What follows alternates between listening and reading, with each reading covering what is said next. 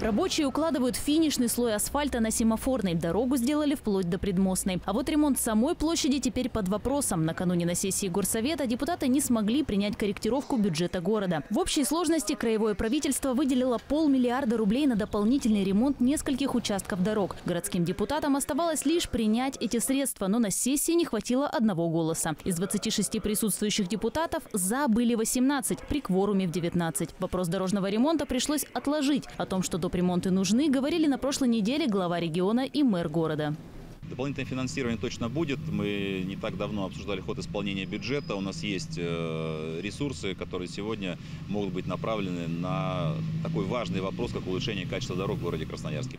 Главная цель корректировки – соединить между собой уже сделанные участки. Мэрия решила не медлить и с начала недели утвердила большой список улиц. Среди них Линейная, Мужество, Североенисейская, 60 лет октября, Гусарова, Тотмина и многие другие. Но не все городские депутаты на сессии согласились с выбранными участками.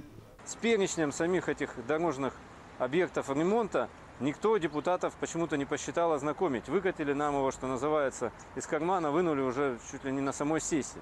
Для примера, Советский район, самый большой в городе Красноярске, вообще в этом перечне отсутствовал. Тормозить с ремонтом дорог нельзя, уверены другие депутаты. Пока погода позволяет, дорожники еще могут успеть отремонтировать часть городских улиц. Чтобы процесс пошел быстрее, власти даже пошли на бюрократические уступки. В качестве источника осуществления расходов мы пока технически предусматриваем э, бюджетный кредит из краевого бюджета для того, чтобы обеспечить расходы. Но, еще раз повторюсь, уже принято решение, что при осенней корректировке краевого бюджета, это где-то октябрь-ноябрь, эти средства будут возмещены в виде субсидий из краевого бюджета. Если выделенные средства не уйдут на ремонт дорог в этом году, краевую субсидию придется вернуть. Она, говорят в горсовете, целевая, а значит ни на что другое ее потратить нельзя.